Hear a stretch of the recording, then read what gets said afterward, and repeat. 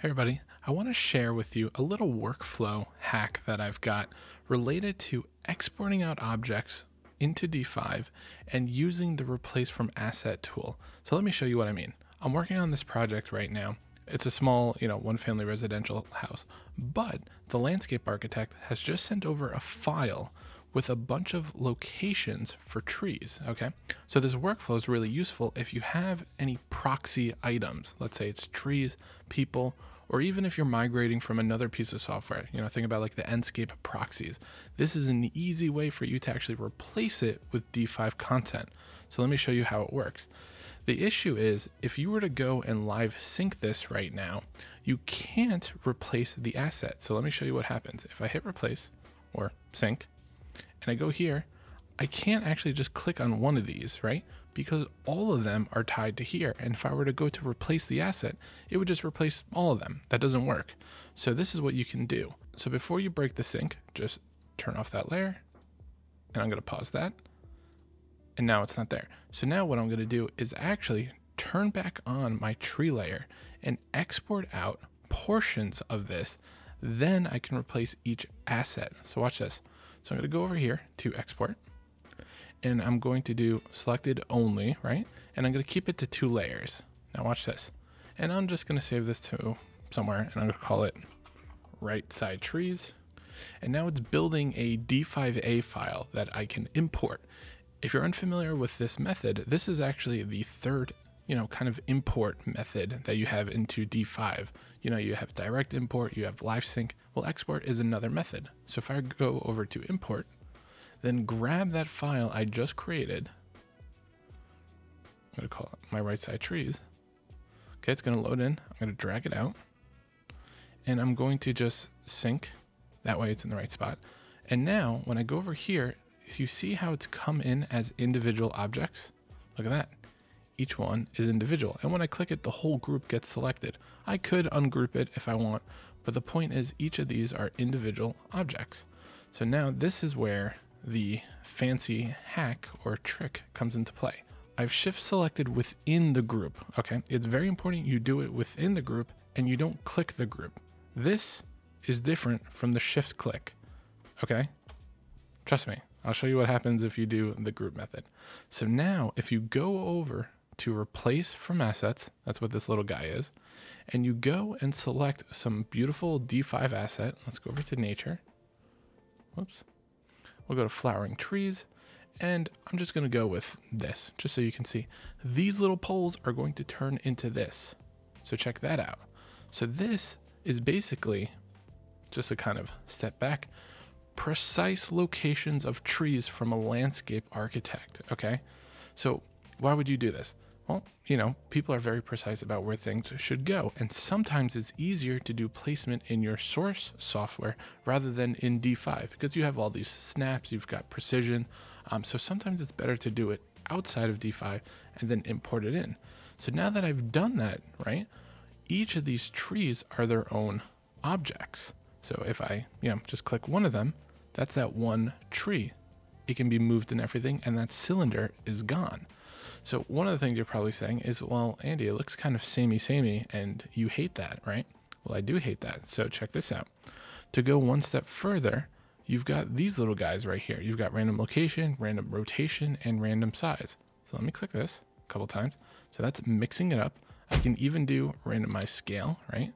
And you know, obviously this is like a little extreme and I probably wouldn't click that many times, but you kind of get my point that you have these controls here to kind of break it up. So I'm just gonna hit control Z a couple times and that's going to restore it. And now I've got a nice kind of variation of the treetops, which I didn't have before. So then all I have to do is repeat it for all the other locations. And I did the export of the right side because this species is going to be different from these right over here. So these guys, let me just uh, unselect this.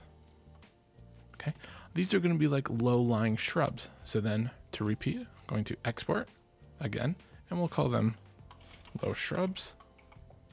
We'll go to desktop and we'll export that out. And I would do this for every different species type, okay?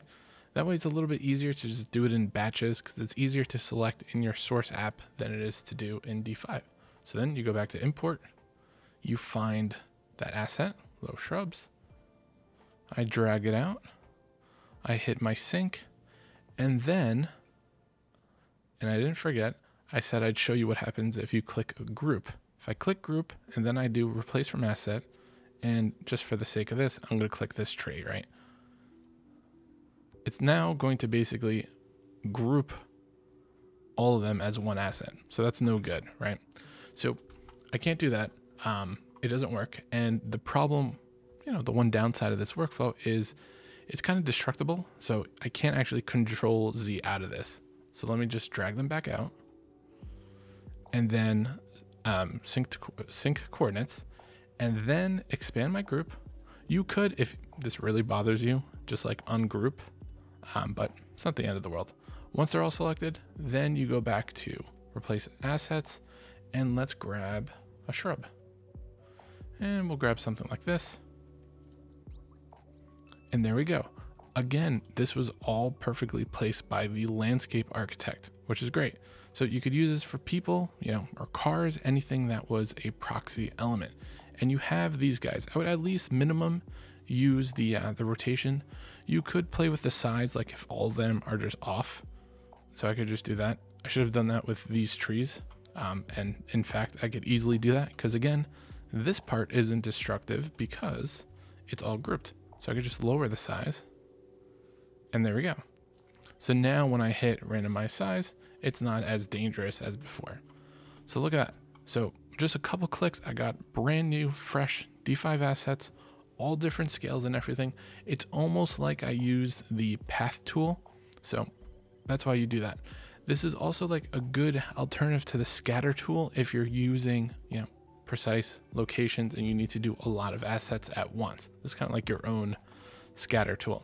So then the last thing I'll point out related to replace assets is it doesn't always have to be from a proxy element. It can actually be from within the D5 library itself. So this, you know, we've got this tree here. Let's say, well, this one tree should be different. I can do the same exact thing. I can hit replace from assets and let me find a different tree. Maybe let's go with flowering and I'll do, I'll do this guy just so it sticks out. And this one tree will be replaced with this species. So there we go. We see it right here. I can then, you know, increase the size. Here I'd probably rotate the, um, I'd rotate it, not in that direction. Just kidding. I would do it in this direction. And there we go. So again, it's not just proxy items. You could do it for anything in the D5 catalog. You can also do this if, let's say, you scattered an area. So watch this. I scatter this, I do a forest, and I'm just going to grab this guy. And I'll click here and create. Let's say this one tree doesn't look good or it's in the wrong location. I double click to detach. And now I can do the same exact thing. I can replace that asset from a uh, tree. So let me just go with a conifer, just something to stick out, right? And this will change. There we go. So really helpful. The one downside, um, and I do hope this gets fixed, but you know how I clicked one asset for all these?